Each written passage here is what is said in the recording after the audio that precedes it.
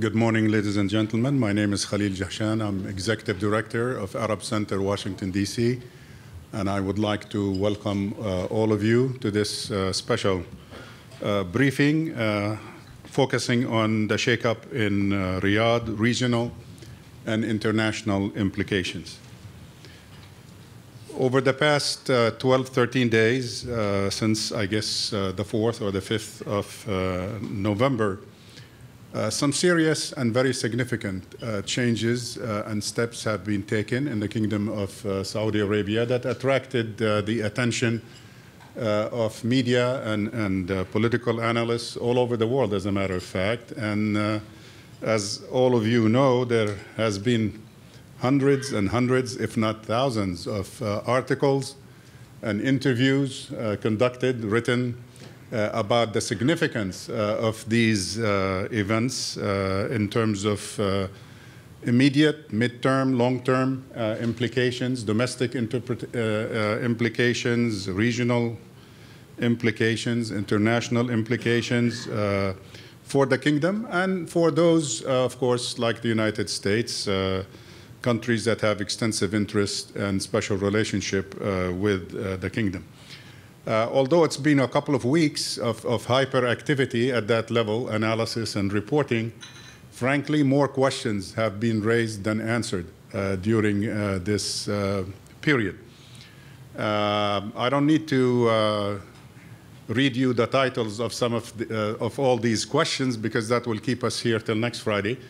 But I will raise a couple of these questions just for the purpose and for the sake of the discussion today to kind of tend to frame, if you will, the conversation today. Some of the questions raised uh, starting early uh, November when these steps were uh, adopted or taken uh, included the following What is the real meaning of the Saudi roundup that we witnessed on the 4th and the 5th of Nov- November? Is it really an anti corruption campaign or a consolidation of power campaign? Is Mohammed bin Salman behaving recklessly, as claimed by an unnamed U.S. diplomat? Or is he leading a genuine revolution from above in the Kingdom of Saudi Arabia? What are the domestic implications of this crackdown that we have witnessed over the past 12, 13 days? What is the impact specifically, domestically, on the governance process in general in Saudi Arabia, on the role of the royal family in power sharing in the kingdom, and particularly the role on, on, of the religious establishment? Are they marginalized with the arrest that we have witnessed even prior to the arrests of the princes and, and the businessmen? There was also a large uh, uh, number of uh, religious uh, establishment, ulama, and, and others uh, that has, have also been detained. Is, when we look back at this period, is power trumping legitimacy in Saudi Arabia? How is legitimacy going to be affected uh, by these steps? Is this the beginning, as one of my colleagues at the office said, is this the beginning of the fourth Saudi state? Uh, is the Kingdom of Saudi Arabia transforming its ultra conservative Salafi thought to moderate Salafism? Did the purge of Saudi billionaires and millionaires help or harm Vision 2030? Is this the Saudi Arabia that Saudi youth want? In other words, what's the domestic uh, reaction now and in the future uh, to, to this campaign? And definitely, we need to kind of touch on the what are the regional and international implications of this Saudi purge. To help us answer these questions, and, and uh, we invited two dear friends uh, who are well informed about these developments. Uh, and uh, those of you who have been following up uh, the reaction, whether on uh, Twitter or, or otherwise, have seen their very significant, their substantive, and their uh, wise comments that help kind of direct the conversation actually worldwide, not just in Saudi Arabia or outside here in the States. Uh, let me introduce both of them at this time in the order they will speak. and then we'll uh, give them uh, the floor to proceed. The first speaker would be uh, Jamal Khashoggi. Jamal uh, is a Saudi Arabian uh, journalist, columnist, author, editor. He doesn't need an introduction to those of you who are in the media and have been following uh, the Middle East or the Arabic language media. He served as correspondent for several, both Arabic and English language publications, including uh, the Saudi Gazette, Al-Sharq al-Awsat, Al-Majalla, Al-Hayat, was the editor-in-chief of Al-Watan, was the deputy editor-in-chief of Arab News, and on and on and on with regards. Uh, so he's been a key figure uh, in the uh, media in the Middle East, not just in uh, Saudi Arabia. He was actually uh, earlier in his career, and our friendship goes back to more than uh, 25 years actually.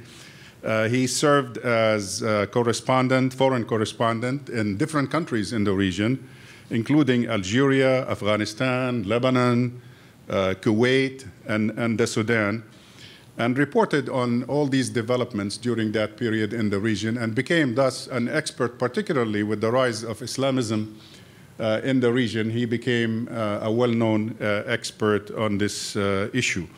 He worked here in, uh, in Washington for a while, was a consultant, media consultant to the embassy of Saudi Arabia, particularly with the uh, when Prince Turki al-Faisal was the ambassador during that, uh, that period. But he has always been uh, uh also a commentator uh, on the media, as I said, in all these languages and many networks aside the, the, uh, the, Saudi ones that he directed or worked at. and that includes channels like BBC, Al Jazeera, NBC, Dubai TV, and many others. Our next speaker, also good friend, uh, Kristian Coates Ulrichsen. Uh, he is the uh, Middle East Fellow at the Baker Institute for Public Policy at Rice University. And we're also delighted that he chose to make the trip from Houston uh, last night uh, to be with us uh, today. Christian is working at the Baker Institute across the disciplines of uh, political science, international relations, international political economy. Uh, his research, for those of you who are not familiar with his research, look him up, examines the changing position of Gulf uh, states in the global order, which is certainly very relevant to the developments that we are examining uh, today. Um, he also has focused on the emergence of longer term non military challenges in regional security in the Gulf uh, region.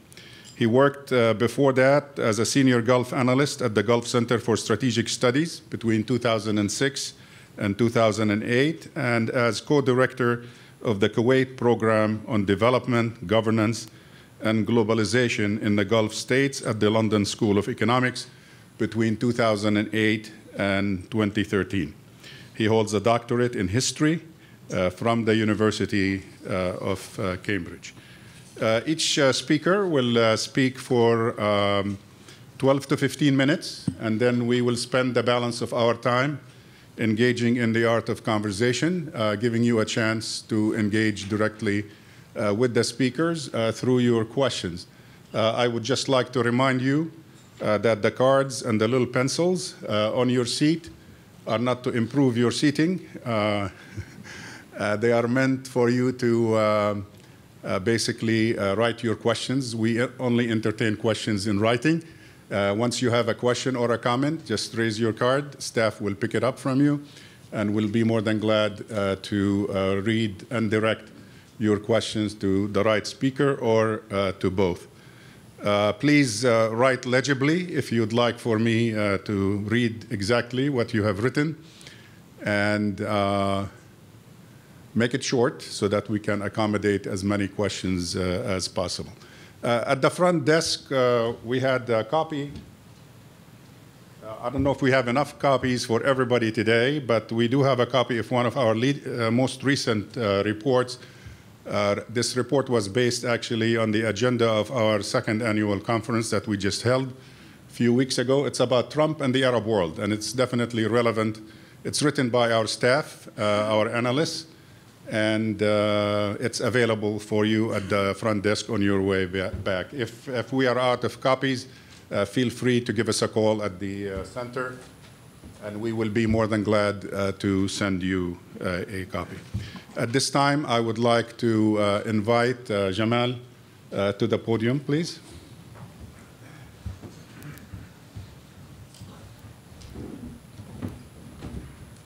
Thank you. Thank you, Khalil. Thank you all for coming. In, uh, in my career as a journalist, an editor, I called for everything Mohammed bin Salman is doing right now. I am, not only me, every other Saudi writers, commentator, we all wanted us to be free from radicalism. We all wanted women to be allowed to have their rights, to drive. And we all wanted purge on corruption because corruption was killing us in Saudi Arabia and we the Saud. And, and corruption is no secret in Saudi Arabia. We feel it, we see it every day. But we just simply cannot report about it. So he is doing what we demanded of him to do. So why am I being critical? Simply because he is doing the right things the wrong way, very wrong way. And uh, I will explain why in a number of points that Khalil has uh, thrown around to us. For example, on the Belgian corruption. I think the Saudi people are very much supportive of it. Right now in Saudi Arabia, we are going through some kind of euphoria that people don't think, don't question, media don't discuss the impact of uh, such decisions. For two reasons. It is this euphoria and also for government control. There are people who, we, who were called to the state security to sign pledges not to criticize the government. So they chose to stay in their homes. Others were arrested. So when somebody, when a writer is, is arrested, every 10 other writers are afraid to speak because they don't want to be arrested. So the environment in Saudi Arabia does not allow for constructive criticism or constructive debate and discourse about lively matter, matter that they are going to affect us for the future. That is one thing. The other thing, it, it is also the, the euphoria. The government is feeding into the people high expectation, promises, and I, I would say most of the young people don't want to listen to somebody who would disappoint them with bad news. But here in Washington, we can discuss the bad news, and probably it will find its way through the, the ears of the Saudis. For example, purging corruption. Yes, we, the people of Saudi Arabia, should own it. It is not, despite what, what could be the true motive of Mohammed bin Salman, whether it is power play or a true, genuine fight against corruption. We, the people of Saudi Arabia, need to own the purge on corruption because it is the only thing for us to, dry, uh, to, to, to, uh, to move into the future. This Vision 2030 of his cannot never succeed without a true fight on corruption. So I will not spend much of time as a Saudi free writer uh, speculating why is he after corruption. I, I, will, I, will, I will announce my support, and I, and I already did that in Twitter. I said I support Mohammed bin Salman in his fight on corruption, and I think every other Saudi should support uh, him in that. But on the same time, I would like to see a debate about that. Uh, the fight on corruption uh, is going to have a major effect on Saudi Arabia. It could be a power, a power, a power play, but we, we will come to that later. It is going to have an immediate effect on the economy. The private sector is panicking right, right now in Saudi Arabia. People are worried whether they will be paid at the end of the month in large corporations like the Bin Laden company, like Dallah Albaraka company. And we are talking about, in Dallah Albaraka, they have about 140,000 employees. That's a huge number. And with Sheikh Saleh Kamil and all of his sons are in, uh, are in the Ritz Carlton, maybe there is no one to sign the checks at the end of the month. Uh, maybe the government is going to sort that out, but I'm sure the private sector in Saudi Arabia is panicking. But in the long term, it is good. If this drive against corruption will succeed and it will free Saudi Arabia from uh, the, the epidemic of corruption, it could lead to a proper economy. It, it, it would lead to uh, elevating of a new middle class in Saudi Arabia. But I think he has to distinguish between the royal wealth and the corporation wealth. The royals are the reason for corruption. They are the one who inflated the price of the contracts.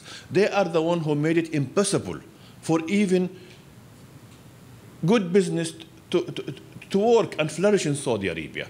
Their cuts are not 5%. Their cuts is in billions. It, corruption in Saudi Arabia, it is not a gold necklace that you pass to the, the Congress uh, wife or uh, a governor or we are talking about a project that cost a billion and the value of it will increase to three billions just so His Royal Highness will take a cut and his brother will take another cut. That, of course, it, it will deplete the Saudi national budget. It will, and according to Mohammed bin Salman himself, in an interview he made with Bloomberg last April, uh, April 2016, he said in the years from 2010 to 2014, $100 billion every year were wasted in what he described inefficient spending. That is corruption. So we are talking about $400 billion in only four years. So if that is the case for a whole decade or two decades, we are talking about a trillion dollars. That may be 30% of the Saudi national budget in America, you call that your taxpayer money. It is our money. It is our, it is our money, the Saudi people. 30% of it went away in lavish houses in Los Angeles and uh, hotels in, uh, in Paris and, and under the name of Royal Highness. And it is good Mohammed bin Salman is after that. He need to reclaim that money back and stop this, uh, th this habit. But at the same time, what about the corporations? Those, those are national corporations. They need to be preserved like the Bin Laden, like the Dallah al Baraka, Al Juraisi, others, others, others. There are many corporations. They are, they are banking, they are worried. The, the, the Jaffalis. I wish he would do something like what you do here in America, uh, the IRS, when they suspect a, a, misdealing of uh, corporation, they will go to the company, they will check their books, they will uh, uh, argue with them, fight with them, uh, and end up with a settlement where the company will be a few billions or 20%, 50%, 60%, but something transparent, something clear. But not to destroy those companies. Destroying those companies, it will have a major impact on Saudi Arabia. Another important thing we, we might lose because of that, it is trust. If the Saudi investors lose trust, and again, just a week ago or 10 days ago, he was, uh, uh, MBS had a huge conference in Riyadh where he uh, was introducing Saudi Arabia to the world as uh, a haven or an opportunity for investors. I'm sure foreigners who attended that conference are having second thoughts today. Trust is important. When Jamal Abdel Nasser nationalized businesses in Egypt in the 60s and in Syria, it took the Egyptians and the Syrians generation to regain the trust to reinvest back in their country. I wish some advisor will tell that to Mohammed bin Salman. Uh, trust is important, and he is, by, by what, what he's doing, is killing trust. There are important stories that are being published in, in the Financial Times today, and there is no comments from Saudi Arabia, from the Saudi Minister of, uh, of Finance, of Trade, of uh, MBS himself. When the Financial Times ran in its front page a story about that uh, the government is negotiating with the business uh, community and wealthy and uh, princes to take 70% of their wealth for a settlement, and there is no comment from the Saudi government about it, that is worrying. Is it power consolidation or real reform? It has to be seen. We don't know yet. Is it going? Is he going to going Chinese style, where he will clean the house and restart the business? in a clean uh, ground? Or is it a Putin style, where he will collect all the wealth and he will sit on it? And he will be the master of everything and he will uh, use the money to make our life, to make Saudi Arabia great again. Of course, I don't personally like the Putin style. I would like the Chinese style. But if we could have a democratic style, that would be much better. But you see, as, as a citizen of Saudi Arabia, I don't have much, much choices. Mohammed bin Salman has won, and he is going to be the leader of Saudi Arabia uh, for maybe another 50 years. He's young, and considering the age factor and uh, advancement of medicine, maybe he will make it even more than 60, uh, 50 years. So we just, the only thing we could do as Saudi Arabians is just to hope he will succeed. His success is, will be our success, not necessarily me. I made it in my life, but for my kids and my grandkids. Uh, can he succeed? Can Saudi Arabia in 10 years? How do I see it in 10 years? Um, I will, Saudi Arabia will be a great success if Mohammed bin Salman succeeded in fixing the epidemic of unemployment. It is the, it is the most serious thing gonna face him. It is, the other serious thing is his high expectation. He rose expectation to the people. He made the young people reach the sky, and five years' time, the people are going to demand and they want to see this futuristic city in the north, this uh, Sea Islands in the, Uh, also in the, in the north of my hometown, Medina. So he has to, to show them what he had promised. But the most important thing he has to fulfill is unemployment. And we are talking about 4 million people unemployment in Saudi Arabia and 250,000 people every year in an economy that is controlled by foreign labor. The British exited Europe because of 8.9% of foreigners in their workforce.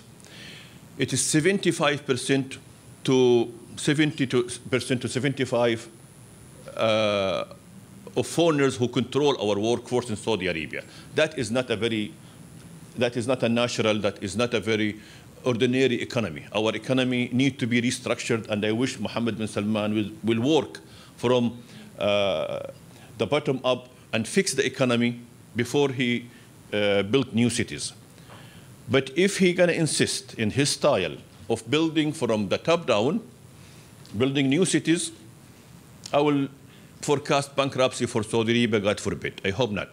I hope he will change course and he will go to the basic economy, economy 101, and start with the people jobs rather than building new cities.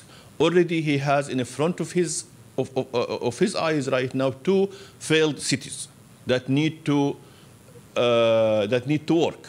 King Abdullah financial city in Riyadh. I'm sure any one of you who went to Riyadh, in, in your way to, the, to your hotel, you will see that beautiful city that looked like another Dubai uh, in the middle of Riyadh. Not a single office was uh, rented at that city, and uh, basically the city of Riyadh doesn't need it. Now he has to find a solution for it.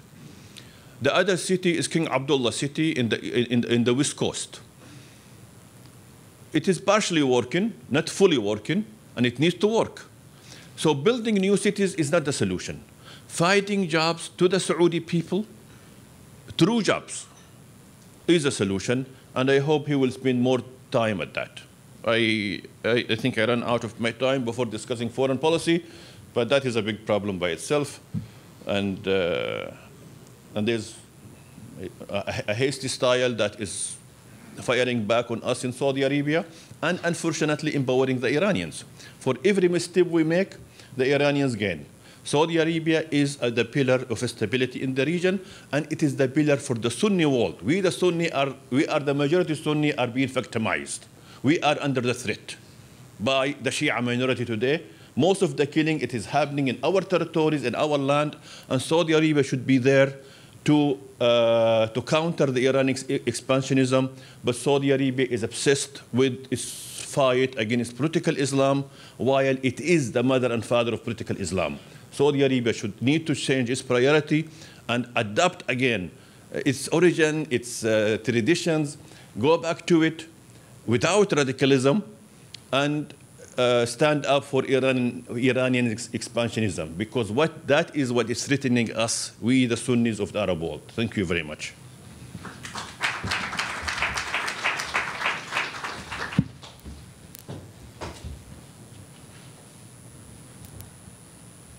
Thank you, Jamal. And now for our second uh, speaker, Kristian Ulrichsen.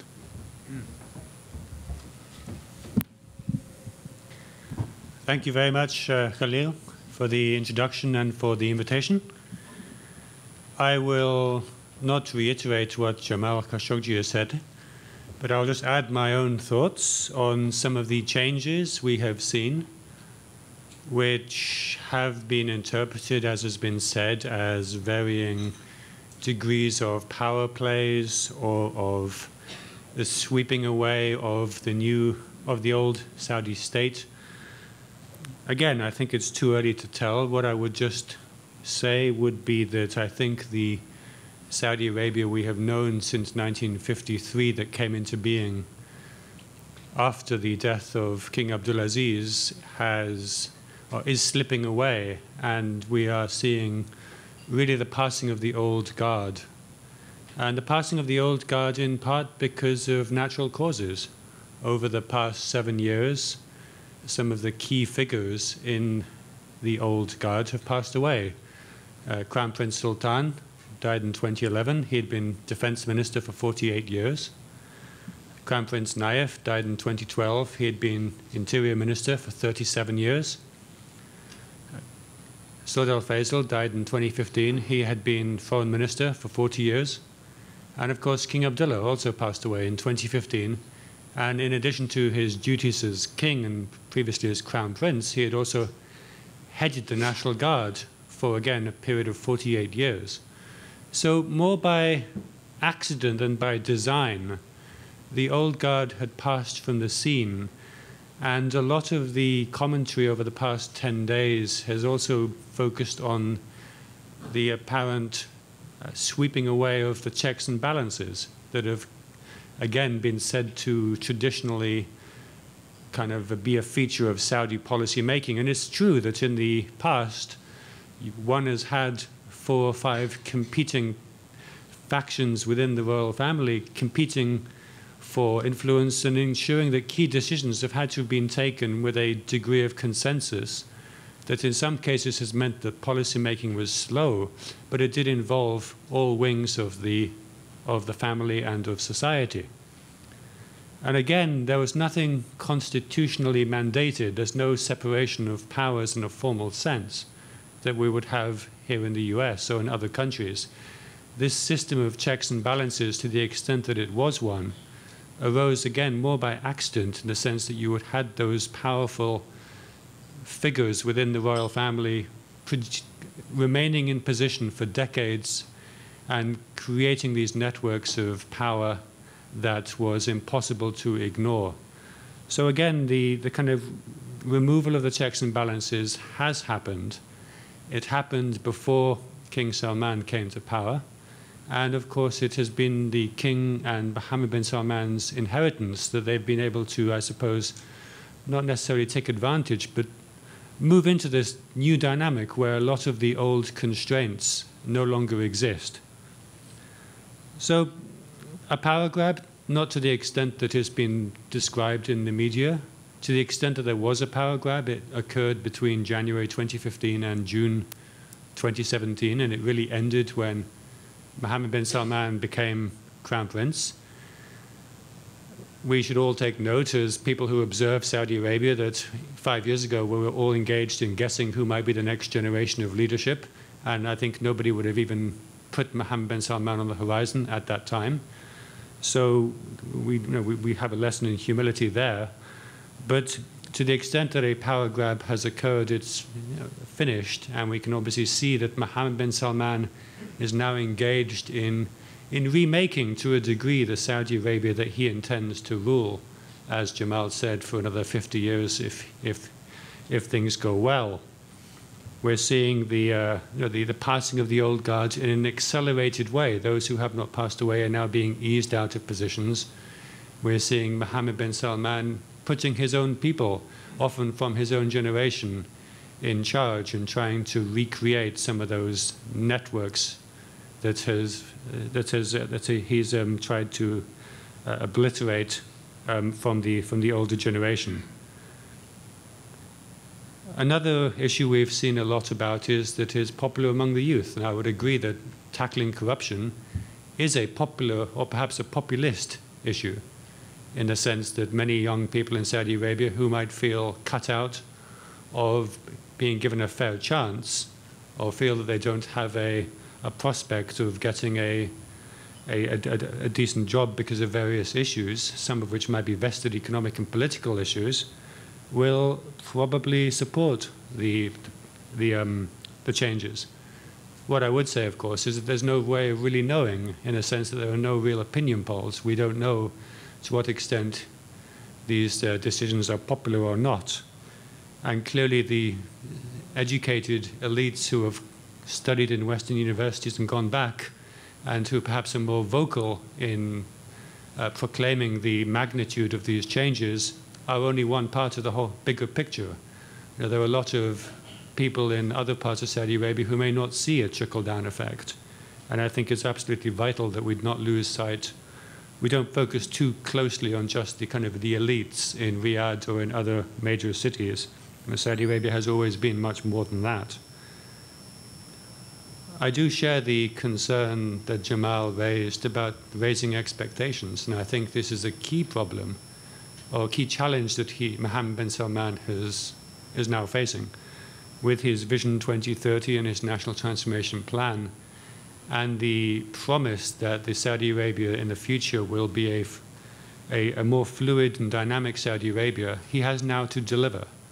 And I think even very early signs after just a couple of years are that the changing, transforming a vision into reality is proving much more difficult in practice and it will inherently involve taking on a degree of not just vested interest but structural obstacles in the Saudi economy that I think will require more than just a plan that was um, uh, cooked up in Western consultancies. And so far, at least, I think the initial expectations have had to be have had to have been tempered, perhaps because some of the expectations were so far fetched at the beginning.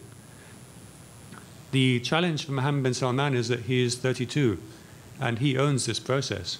If he gets it right, he will secure his kingdom. Unlike previous kings for the last 20 years or so, who have been in their 70s, 80s, and even in their 90s, he, Mohammed bin Salman, will be the one who has to face the day of reckoning in 20, 30, 40 years either when Saudi Arabia faces economic and structural challenges that can no longer be ignored, or when, for example, domestic energy consumption, which is increasing so rapidly, means that so much energy has to be consumed locally that it can no longer export six or seven million barrels of oil per day. So Mohammed bin Salman owns this process in a way that none of his predecessors really have. It's not something that can be kicked down the road for a future king, because if he gets it wrong, he could put in peril his entire, his entire inheritance. And so that's also, I think, what explains perhaps some of the, the scale of the, the actions that he's been taking and perhaps some of the urgency that we have seen. But it's clearly a high risk, uh, it's a high risk bet, and if it goes wrong, it could go very badly wrong indeed.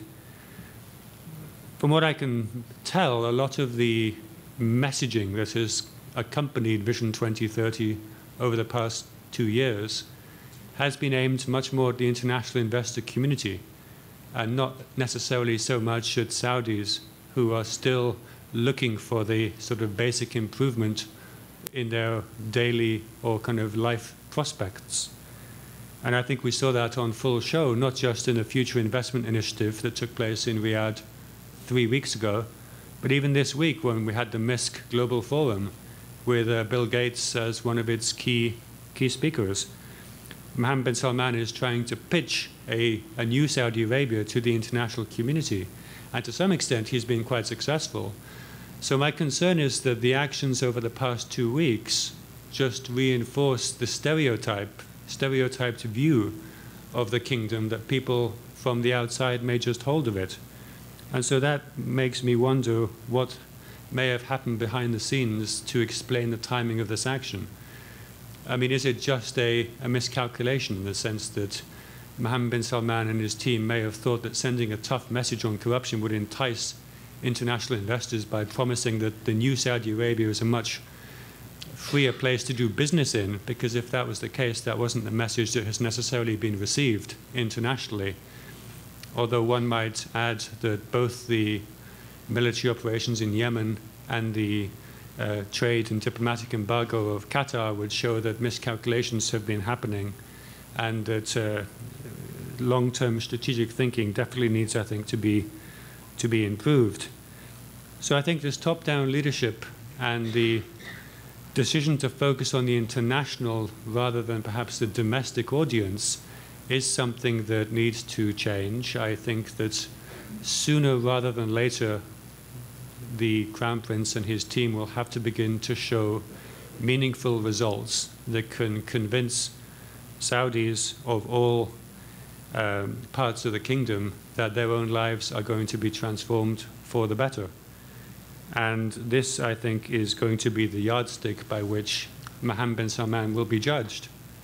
And again, over the next decades, this will probably determine whether the new Saudi state, the fourth state, or whatever we would call it, is more sustainable in the long run than the one that we are seeing swept, being swept away before our eyes. I'd maybe just end by saying that this is indeed a, a moment of transformation in the sense that you know, the institutional structures that for decades we thought were kind of solidified because they were so entrenched are now suddenly in place. So there is a moment to try and remake institutions and clearly recreate leadership structures. And I think it would be fascinating. We won't know the answer to this, of course, but it would be fascinating to see if this moment of change also solidifies as its predecessor has done in the 1950s and 60s into another kind of stasis that maybe prohibits change down the line. Um, there was a lot of talk about uh, Mohammed bin Salman becoming defense minister at the age of 29. But of course, we shouldn't forget that uh, Prince Sultan became defense minister when he was 32, and he died as defense minister at the age of 80. So this system has opened up, perhaps contrary to the expectations of a lot of analysts, but it's opened up because of a sequence of events that were not necessarily coordinated, but the key interest, I think, going forward is is it going to close around Mohammed bin Salman and be just as perhaps impenetrable to long term change as the past has been as well? So, with that, I'll, uh, I'll open it up to questions. Thank you.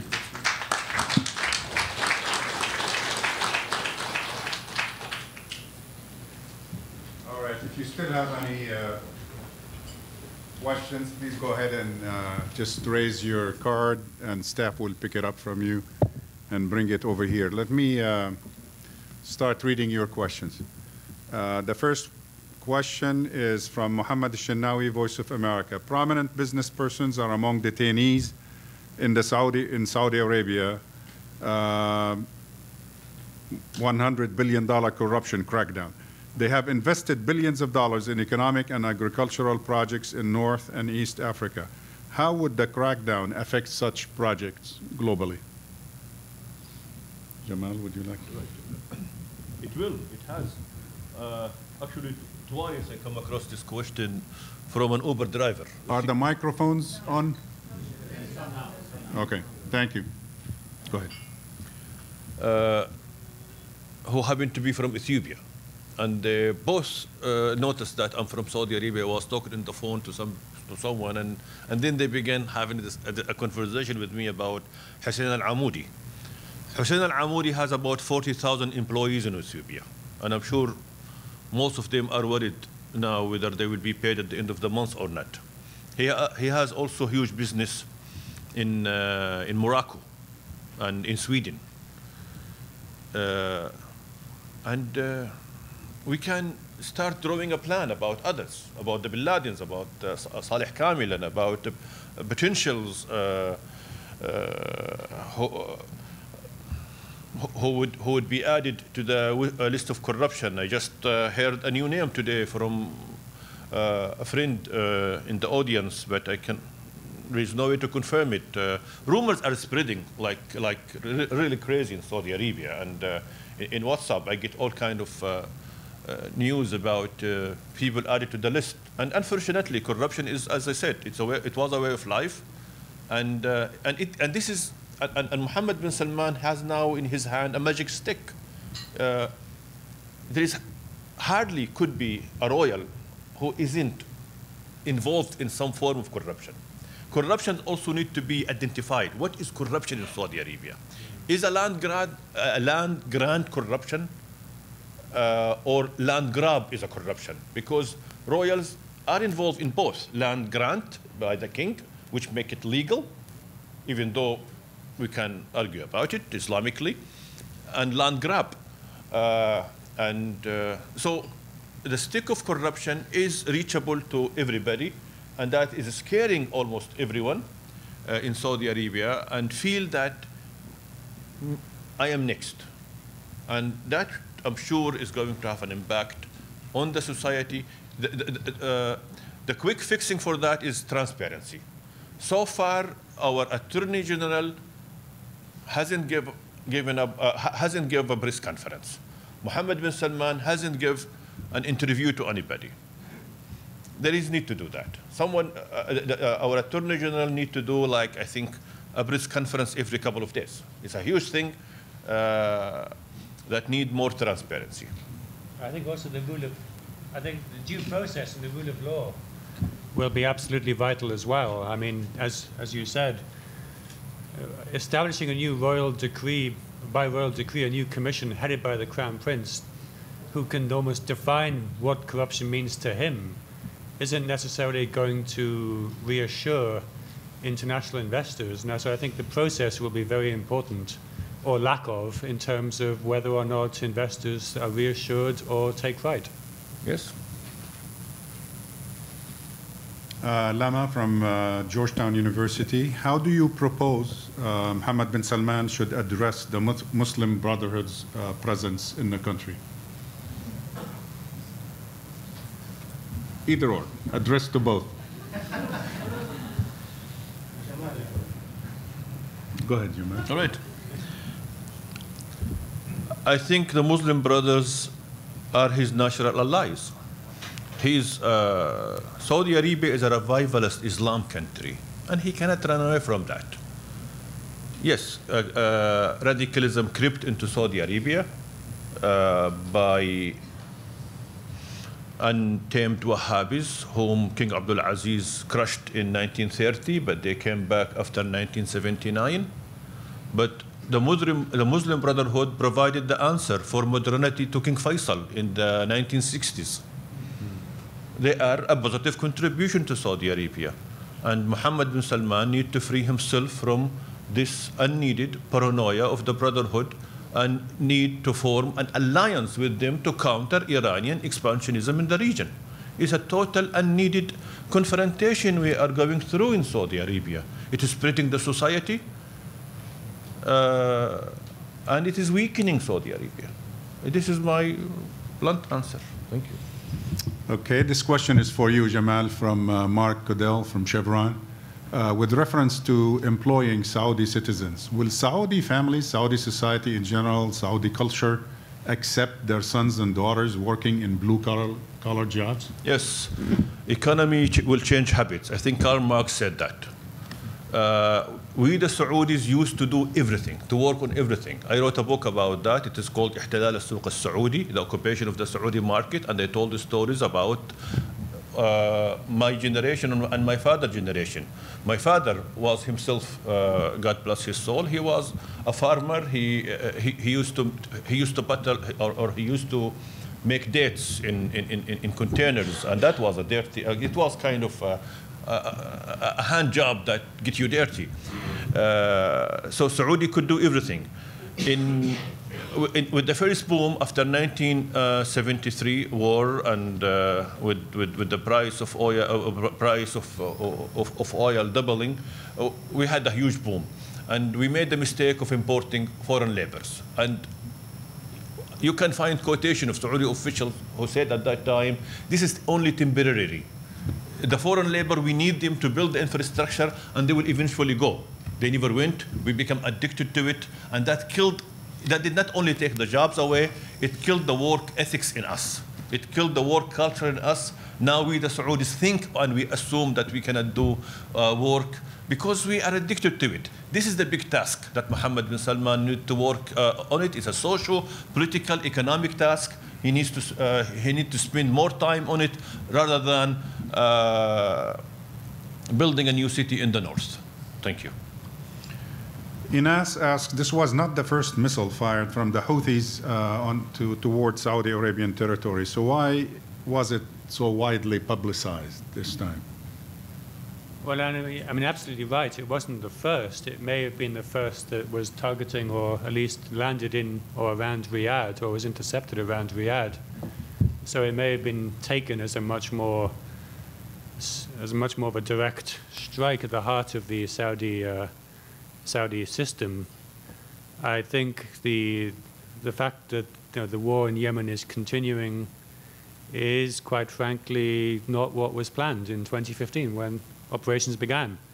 And every time a missile comes over, it's a signal from the Houthis and from uh, international backers that they, they retain the capacity to create embarrassment for the Saudi leadership. And that is, I think, something the Saudis are not yet, haven't yet figured out a way to try and resolve. I think the dilemma they have in Yemen is that decisive and overwhelming force to try and force the issue would be too much of a, a cost in terms of lives potentially lost and treasure lost. And so there's this sort of halfway house where they, they're not willing to, or they're not necessarily going to back out, but they don't just really have the, the capacity to, to actually win. I want to add to that. Sure. Uh, also, there's something important about this missile. It is, uh, it's been proven by the Saudi investigation, and the Americans are backing that. It is an Iranian-made Burkan 2 missile that is recently introduced into the war front uh, that, the, that the Yemenis did not have before. The Yemenis keep uh, firing uh, old-fashioned Scud missiles on, uh, on us. Uh, but this one is Iranians, which is a proof that the Iranians have succeeded, despite the war, in uh, sneaking in this missile into Yemen territories, and maybe it was put together and by Yemenis or by Iranians or by Hezbollah operative, and that uh, is taken to Saudi Arabia as a game changer. That it is an act of war by the Iranians and Hezbollah and Saudi Arabia, and uh, it's, it's, rightly so. I mean, the Iranians, if they had the opportunity to send tons of uh, Burkan missiles to Saudi Arabia, they would do it. They would. Uh, so, so, so, so that would enforce my argument that Saudi Arabia need to to stand up to the Iranian expansionism, but it needs to do it the right way. And let's not forget that within two days of President Trump urging the Sunni Arab world to come together against Iran, the Sunni, you know, the Saudis, Emiratis, and Bahrainis turned on Qatar which I think was a strange way of trying to present a united front. Okay, well, talking about Yemen, uh, when will the war in Yemen stop? If Prince Mohammed bin Salman read a little bit about what his uncle Faisal did in 1965. Uh, in 1965, King Faisal, who was supporting part of the Yemeni uh, in, uh, in uh, in the civil war, uh, he distanced himself from all sides and he played a broker to peace to all Yemenis. And ever since that time, Saudi Arabia became like an equal partner to all of Yemen. I think MBS need to rediscover that again and reach out to uh, Yemenis, whether they are Houthis or Islah, and he recently met with the Islah people in, in, in Riyadh, and that was very interesting because the, supposedly the Ikhwan are in Saudi Arabia uh, terrorism list. And here he's meeting with the leader of the Ikhwan of, of, Yemen, which is good. And it, it is ironic about listing the Ikhwan in the terrorist list because in Saudi Arabia, the Syrians Ikhwan are there. The chief of the Syrian Ikhwan is in Saudi Arabia, and the chief of Yemeni Ikhwan is in Saudi Arabia. I don't know about other Ikhwan, maybe, uh, maybe they are also in Saudi Arabia. Uh, so that is the best way to end the war, is for Saudi Arabia to reach out to all Yemenis, not, uh, not favor one side against the other, just like how King Faisal did. That's exactly what King Faisal did in 1965 in Haradh. The next question is from Les Janka. Uh, explain the dynamics of the royal family. Will its cohesion be threatened when King Salman passes away? Might Salman resign before that? Well, I think there's only one person who probably knows the answer to that question, and, and that's the king himself. I mean, we have a lot of speculation, clearly, and every time there's said to be an imminent abdication, it hasn't come to pass. One can read whatever one wants into that. Is there more domestic pushback than as anticipated? I guess we, we, we don't know. In terms of family dynamics, my concern perhaps is that Salman has for a long time in the past performed the role of almost like a chief whip of the family. He sort of kept, he was instrumental in maintaining family discipline. And you know, he was not just feared, but also respected for that. And it, it looks as if, at least to some extent, Mohammed bin Salman is trying to take on that mantle of also being the sort of family enforcer but you know, will he have the gravitas, the seniority to also make kind of impose the respect on all the different branches that may now, to some extent, feel like they have less of a stake in the Saudi Arabia that they see coming together?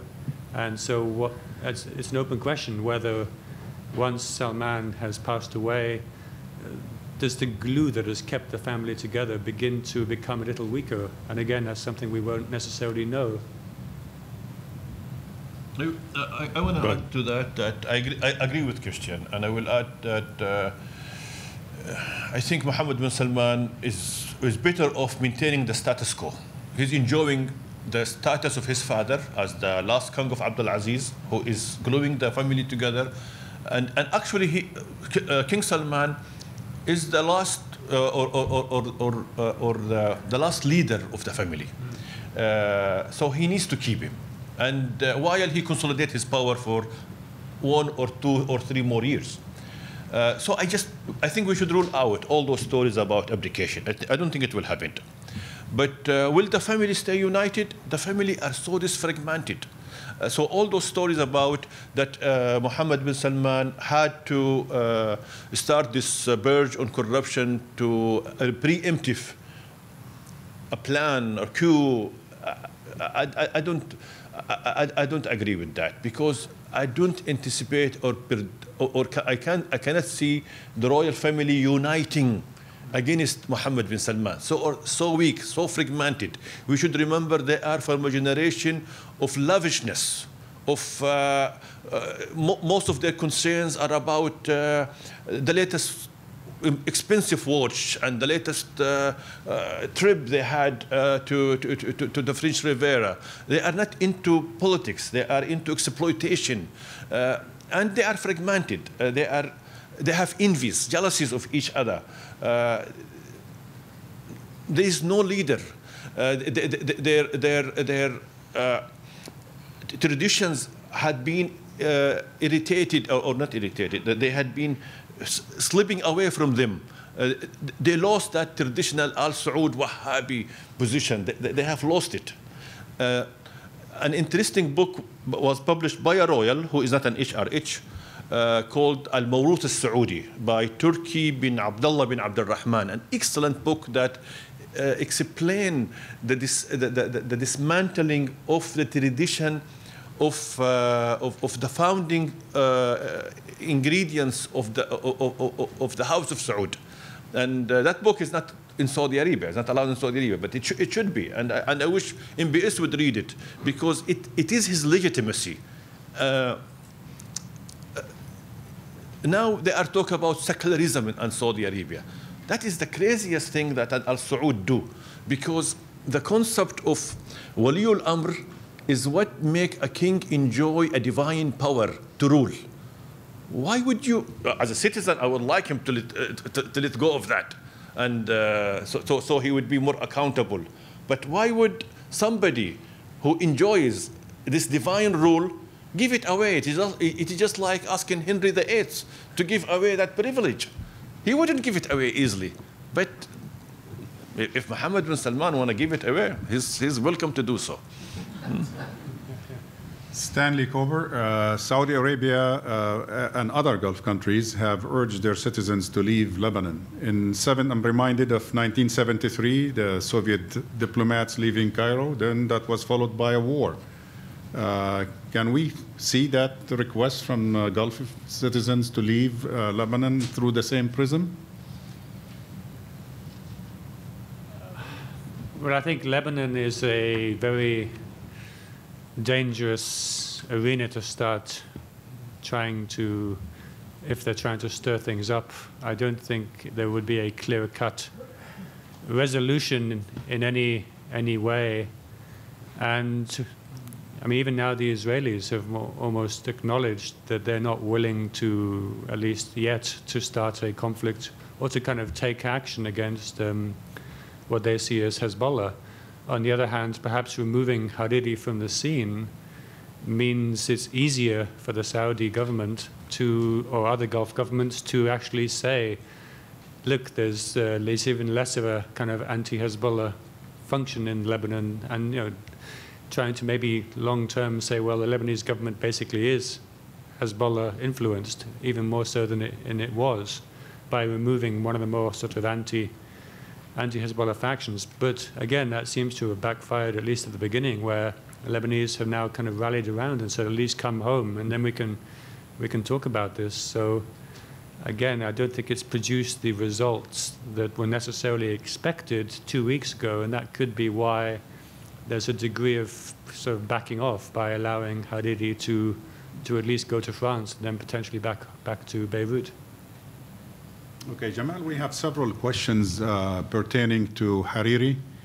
Um, um, Delinda, Henley, and uh, let me see, Ibtisam, and is it Wasan? Uh, we have I mean, different questions saying what's going on with the Hariri situation and, and Lebanon, and uh, how will that impact the relationship between Saudi Arabia and Lebanon? It has already impacted the relationship. Even to our dear uh, Sunnis of Lebanon who always look up to Saudi Arabia for support. For the first time, the Sunnis of Lebanon become critical of Saudi Arabia. That is a true fireback on a hasty decision made by MBS. Yes, he had a good argument for uh, taming down Hezbollah. And I'm sure Saad al-Hariri would have sat with him and develop a plan, a proper plan that could involve the Americans, the French, to counter Hezbollah. But the way it was conducted, the way it was orchestrated, it fired back in Saudi Arabia and he need to salvage it very quickly, maybe thanks to the French. Now they are in helping us out to salvage the situation, and Hariri will be flying to, uh, to Paris tomorrow with his family, and then hopefully he will go back to Lebanon and re re resume his, law, uh, his role as a leader. Uh, so I think the, the task now for Saudi Arabia is to salvage two things. The Saudi position in Lebanon, to restore it again, because we began to lose it, to, to lose uh, our, our influence there, and the, the Al-Hariri family. It took the Sunnis in Lebanon two decades to find a proper leadership to lead. And here we are weakening that leadership. It is important to restore Hariri's credibility in Lebanon, and I, and I hope this is the future plan for MBS, not to weaken al-Hariri any, uh, anymore by suggesting his brother Baha to be the prime minister or uh, uh, uh Saad al-Hariri need to be, uh, uh, to be empowered again. It, it is good for Saudi Arabia and also the Saudi position in Lebanon as, what, what, is, what is the word? the, the safeguard for the, at least the Sunni and the Christian community. The, the Iranians have an, an, an, exclusivity over the Shias. Uh, just a couple of uh, follow-up related to Hariri and, and, and Lebanon. Aziz Fahmi was uh, asking if, in addition to the issue of Hezbollah, was Hariri implicated in the other part of the campaign, the corruption issue? And related to that, uh, Muhammad, uh, as always, is asking, uh, was Saudi Oger? Uh, you didn't mention that in, Yes. in the companies. Was it also implicated? And using the stick of corruption, this magic stick, it can reach Al Hariri. Al Hariri and Saudi Oger are as corrupt as Bin Laden or any other, uh, anyone else. But I'm sure his other hat might protect him. But, uh, and uh, again, we need transparency. Right now, in the Saudi media is still celebrating in euphoric language uh, the war on corruption by the great leader. But there is no true investigation, investigative journalism. What is the status of Saudi Oger? Is it totally bankrupt? It is totally out of Saudi Arabia? We don't really, uh, you, you will not find proper reporting about that. Uh, Saudi Oger suffered a great deal before the, the, the, uh, the, the, the, the, the, the, the corruption campaign. Uh, but I'm sure it is still there. I'm sure there are uh, there are still issues with, with, with its involvement with royalties, and they were involved with royalties at all fronts. Uh, even, King, King Fahad Center for printing uh, the Holy Quran is an example of corruption. That, that, that, that, that, is, that deserves uh, investigation. You know, a single the, the- the cost of a single uh, copy of the Holy Quran from Medina uh, coming from the, uh, from the printing house is maybe 10 times if it was printed by anyone else uh, next, next door. So there is an issue to investigate in corruption. So basically, Saad al Hariri is reachable by the corruption stick. But so far, we haven't heard anything of that sort, and maybe his hat as a prime minister of Lebanon will protect him. So, but it should reach someone else in, uh, within the family or within the company. Uh, Kristian Abir Alouche asks uh, from uh, Abir is from American University. Can the magnitude of the recent changes be considered as a moment of transition in terms of an anti-Sahwa new phase in, in Saudi society? Well, I think it's definitely a moment of transition. And uh, we've obviously seen MBS being very vocal about his interpretation of extremist Islam being rejected.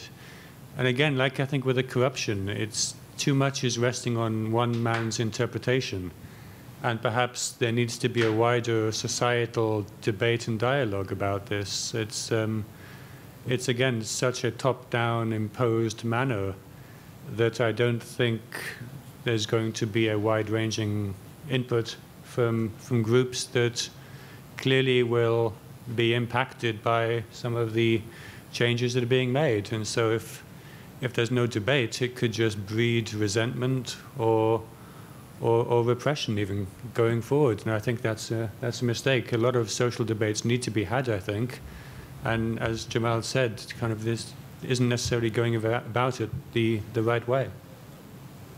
Okay, Jamal, there are several questions regarding uh, kind of issues of succession and governance.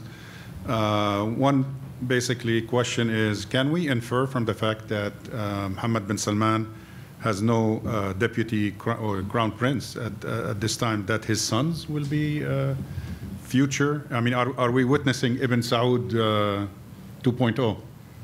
Yes, it, it, it is too early to, for that. But again, because of the situation, rumors are spreading. And one of the most interesting rumor I heard recently from uh, an HRH in London uh, that MBS is thinking of downsizing the royal family. This is good news for us, the Saudi people. And it is good for him because actually the number of the royal family is a burden, is a burden on the treasurer, it is a burden on him, and it is a burden in any future king of Saudi Arabia because they always have demands and they will come to him and they need an administration by themselves to manage their either problems or their needs. Uh, and uh, now the royal families me- member who have an RH, uh, uh, his HRH uh, title are the son of the, grand, uh, of the founder of the kingdom, Abdul Aziz. And then we are talking about five to 6,000 uh, grandson of Abdul Aziz, around that number. I don't have the figure, but there is a department at the uh, Ministry of Finance that pays the stipend for them, who has details of each one of them and has details of their uh, uh, allowances or stipend. Uh, so his plan is to uh, issue a decree to, the, to, call only the, the, the, the king and his sons as an HRH. So if he become a king, or his father now, so it will be only Al Salman who are B and HRH, and the, and the rest are uh, royal families. Also that, uh, or maybe stripe the whole title from them, uh, previously his father used to include other weak or distant member of the family into the family. For example, the new minister for the National Guard, he wasn't a prince 20 years ago. He's from Al Ayaf. And they were not part of the royal family. They were added to the royal family by a decree made by Prince Salman when he was the governor of Riyadh. Prince Salman at that time had an interest to widen the, the circle of the, the, the, the, royal family. The Al Farhan also were not part of the family, but now they are part of the family. So it seems that this is the rumor that he will uh, restructure or redefine who is a royal, uh, which maybe will lead him to uh, develop a similar to the British or Jordanian or, or, or Moroccan uh, style of royal family. And I think this is good. This is good for our budget. It is good. It is good for uh, the public, for the a future uh, new uh, emerging middle class, royals enjoy privileges and uh, they have an advantage. If, if, if uh, he has a better chance to get a better hospital bed than me, he has a better chance to get uh, way more larger land grant than me. So the less royals we have, the merrier. Uh, it's, it's good for Saudi Arabia to do that, and it is good for him. All right, Kristian, do you think that uh, the Kingdom of Saudi Arabia has exaggerated or given too much credit uh, to, the to the Houthis? Is it really kind of part of the Iran-Saudi competition, or is, is that threat genuine? Well, obviously the Houthis had already swept out of their traditional strongholds and taken Sana'a by September 2014. And by the time that King Salman came to power, I think it was the same night that he came to power that um, President Hadi was forced into, or I think he was imprisoned temporarily. And so the government fell the same night that uh, Salman came to power. Clearly, the Houthis had an alliance of convenience with Ali Abdullah Saleh, the former president, who had his own interest in destabilizing his successor. I think Yemen is the offers a warning of what happens in a transition state when the former leader is still playing an active political role. Uh, this hasn't happened in any of the other states that went through a regime change as a result of the, the 2011 uprisings. And of course, it, they made for a, a very unlikely pair of um, partners given the, the series of wars that had been fought by the Yemeni government with the Houthis between 2004 and 2010. I think maybe there was an overreaction in terms of imagining this to be another sort of front organization. But as with the missile that we saw two weeks ago, that kind of has become a self fulfilling prophecy as it's created the conditions for the breakdown of authority and control that has allowed Iran and Iranian groups or backed groups to to gain influence. And so, kind of the situation is now basically as if the one that they had been saying in 2015 that this is another front. Um, what I would say is that trying to take on the Iranians with proxy groups is not necessarily. I mean, the Iranians have a 40 year practice of working with groups like Hezbollah, and this is a dangerous. Um, I mean, they're experts in how they do that. and I think in Yemen and also in Syria, it's been shown that uh, they can maintain levels of direct and indirect influence that has far outmatched at least the Sunni Arab states' ability to do the same, and that's going to be a problem in every regional conflict, uh, I think, going forward. Jamal, uh, Michael Hudson would like to know a little bit more about the background, education-wise, and how did that shape uh, Mohammed bin Salman's worldview? Uh, where does he get his advice? Uh, I was surprised to learn yesterday from a friend of mine who teach in an American university that he advised Mohammed bin Salman. So that, that, that, that was good news for me, that he does reach out to proper advisor. But the same friend said to me, but what makes me angry, he doesn't listen to my advice. He just gets it. And he has the best advisor when it comes to uh, development and uh, ch- changing the face of Saudi Arabia. He, hi- he, he spent mil- billions uh, of dollars uh, on uh, those uh, consultant, cons- co- co- consultants. So he has no problem with advisors. He could have benefited from Prince Turki Al Faisal, who's an, an excellent expertise of foreign policy, but he doesn't uh, he does need proper advisors because if he look back at the decision, at, at decisions he made, he will realize that they did not uh, evolve into his likeness. Were, it, it is, if it's not failure, it is stagnation, like the Yemen situation. But we also failed in Syria. We also failed in, we are failing now in Yemen, in, in, in, in, in, in, in, Lebanon, but one can argue about that. He, he needs to revise either his advisor or his strategy. There is need to that. And uh, there is also a need, maybe, maybe there's a bad, we did not, maybe there will be a question about this. It is what I call the Trump effect. Trump, I think, had been a negative uh, influence on Mohammed bin Salman. Uh, he gave him the wrong premises or a false premises that he can support him to change the Middle East, that he can support him to oust the Iranians out of Syria and out of Iraq. But again, Mohammed bin Salman should have an advisor who would tell him that even Trump is sincere in his promise, he cannot deliver because United States is gigantic. Uh, it, uh, for Trump to get involved uh, against the Iranians in Syria, he need to get the concession, the, the, the, the consensus, the understanding from the Pentagon, from the, the Congress to do such a thing.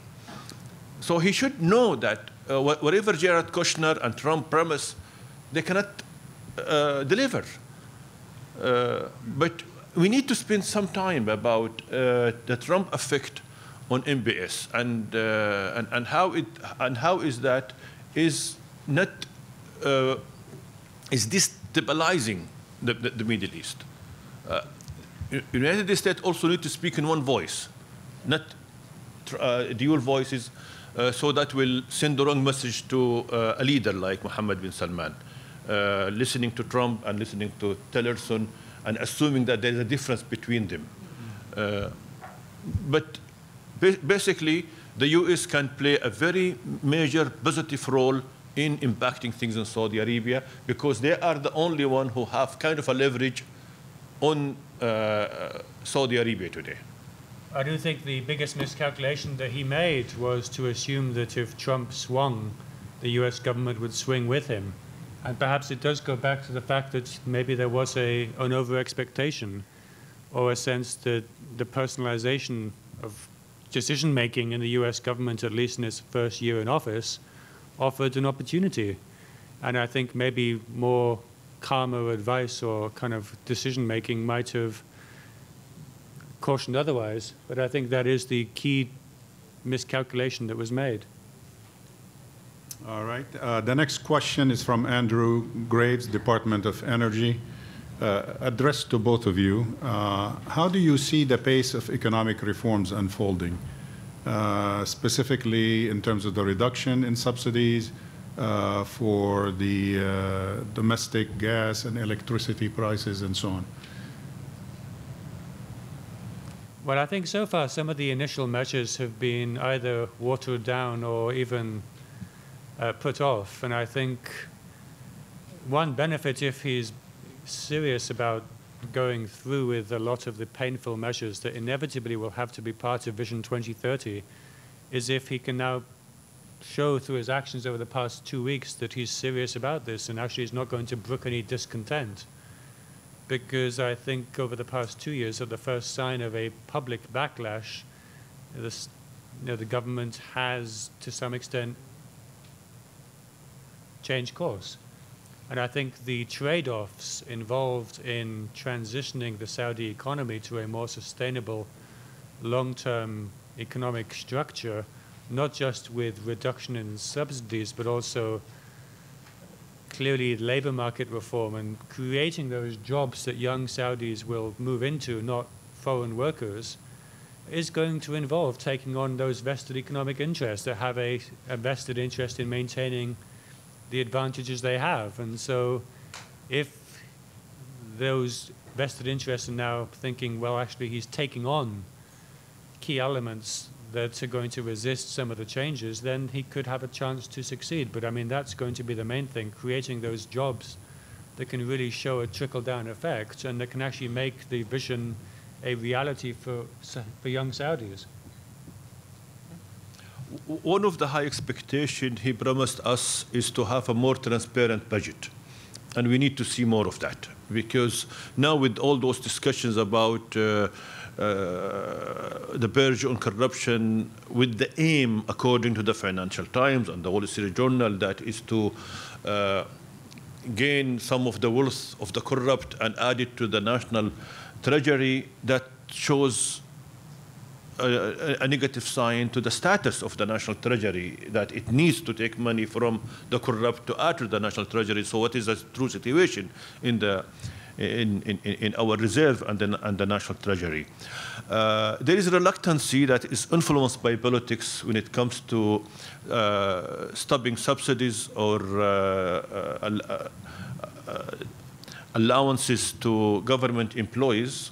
Uh, he uh, ordered back the allowances that they were scrapped from uh, uh, government employees. And I think that there were two drivers to that: politics and the other driver, the effect on uh, on, on, on, the private on, on, the local market. Uh, Saudi Arabia is going through a recession uh, because of that, and um, but the recession is, is, maybe now will be reinforced with the purge on corruption. But the things I like uh, and the government is still doing, that it's uh, it, it, the drive against uh, against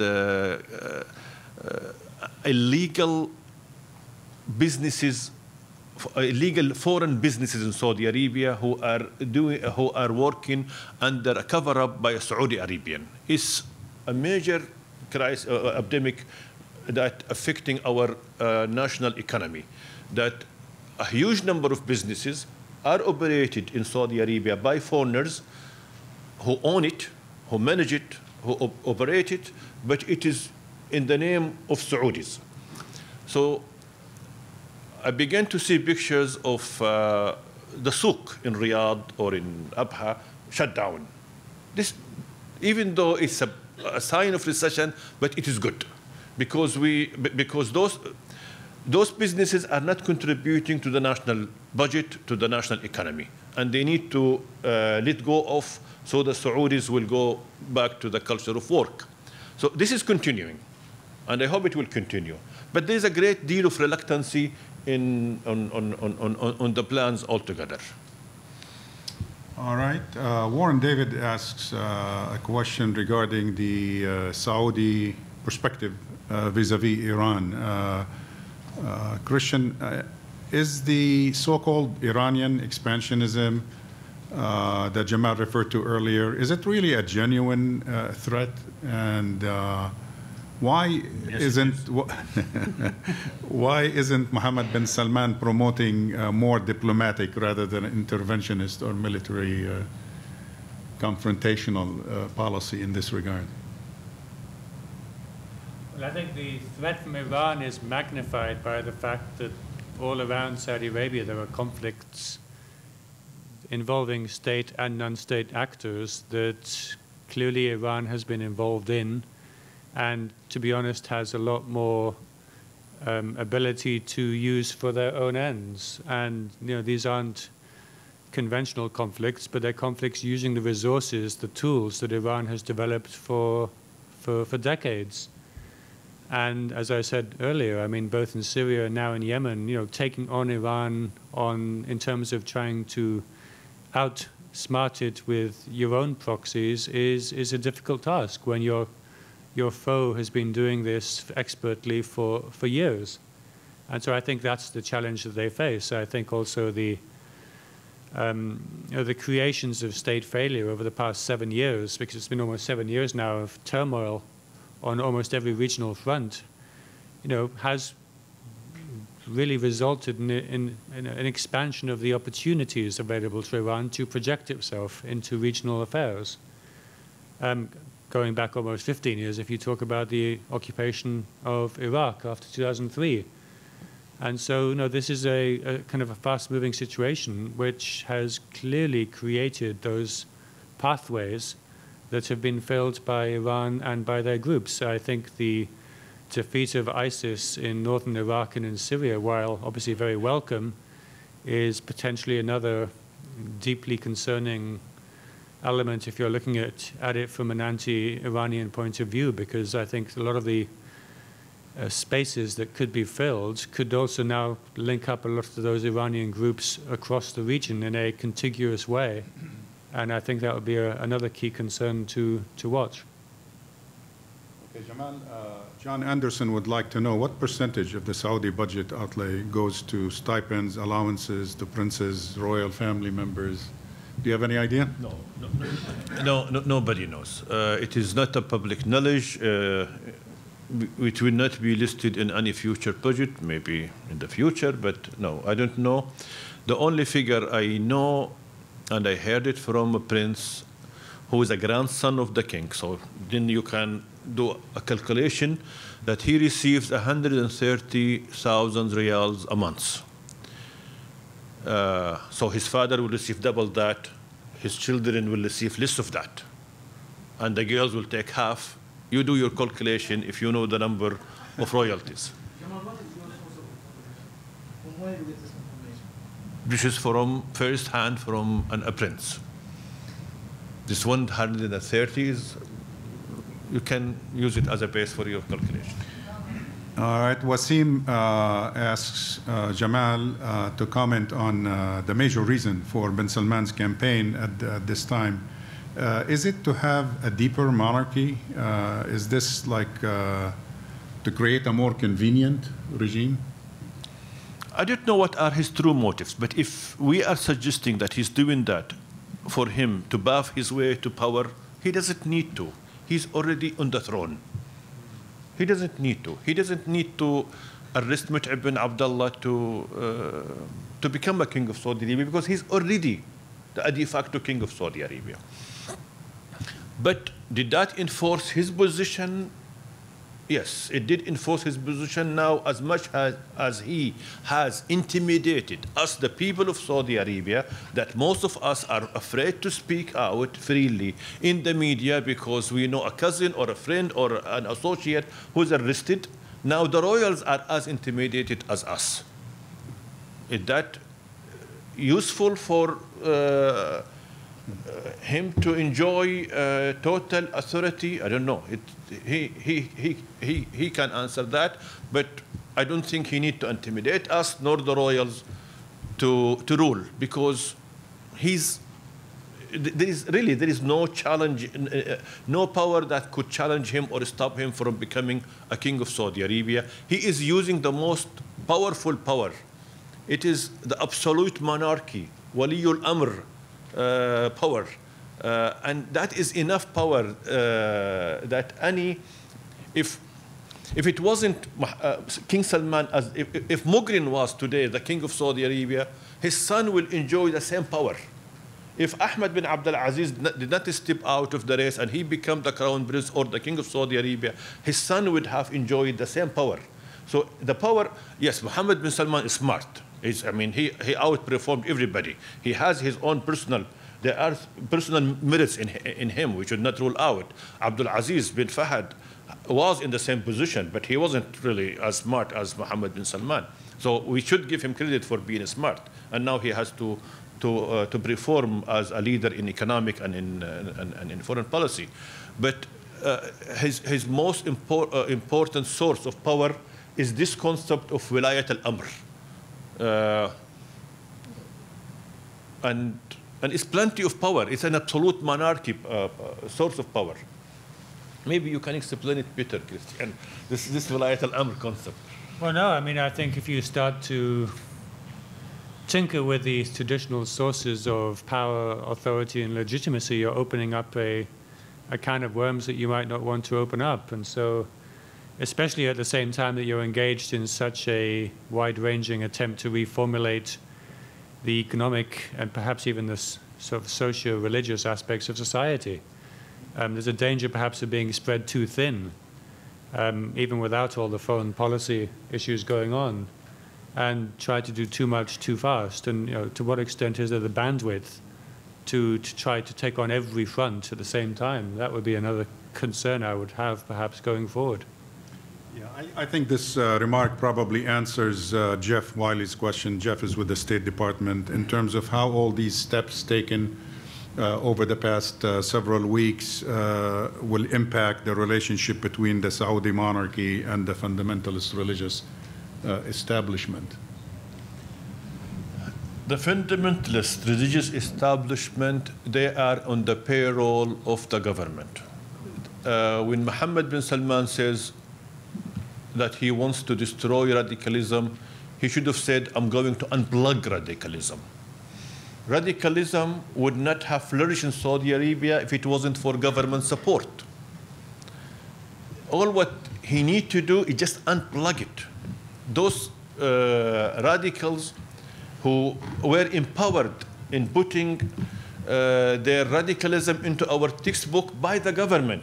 They did not win an election and they, and, and, and, they shared power with the, with, the, with the Al Saud. They were empowered by them for a certain period of time now the, the, uh, the, the, prince or the kingdom uh, realize that they are a burden on, uh, on it, so they are just unplugging their support and blaming the Ikhwan for it. Actually, the radicals are not the Ikhwan, the radicals are the, the Wahhabi infrastructure that is surrounding the government. And still, until today, the senior council of ulama is infested with radical with, with, with, with, ulama with radical views.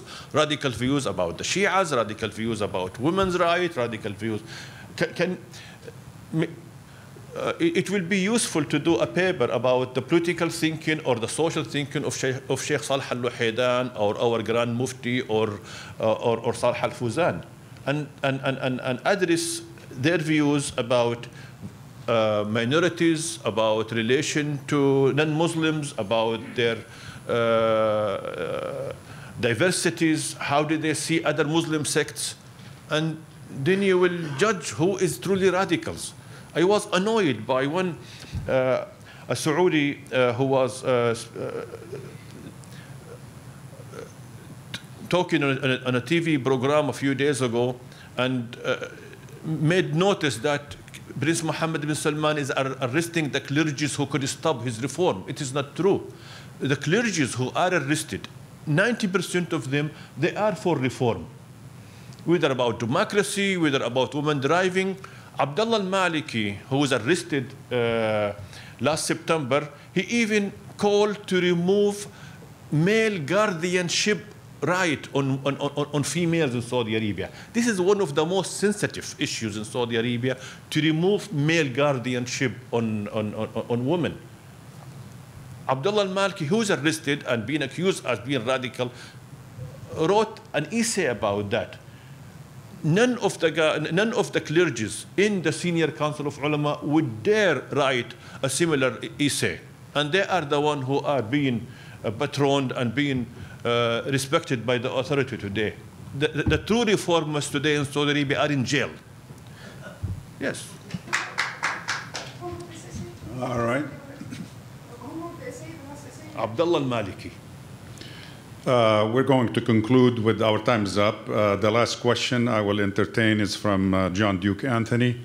Uh, one minute each. Um, how do you see uh, the near or long-term uh, future of the GCC as a result of all this? Unless, we, uh, unless the Qatari crisis is resolved, the Kuwaitis are also anxious and worried. The GCC will be on a freeze, and that will, and if the summit will not be held this this December, with all its, uh, with all the, the six members, uh, we might lose the GCC. I think it's a great shame if the summit doesn't take place in Kuwait because Kuwait has been the leading regional mediator and it would be an opportunity to at least get everyone in the room. I think we've seen in the past in the region institutions don't necessarily get dissolved, they just become irrelevant and marginalized. And I suspect that the GCC will remain on paper, with or without Qatar. But we've seen at every stage of this crisis, every major decision has been taken, has been bypassing the GCC, and I think that will just continue. Thank you very much. Uh, ladies and gentlemen, this concludes our event today. Please join me in thanking both speakers for their excellent presentations. And thank you for being here. We look forward to seeing you in future events. Thanks.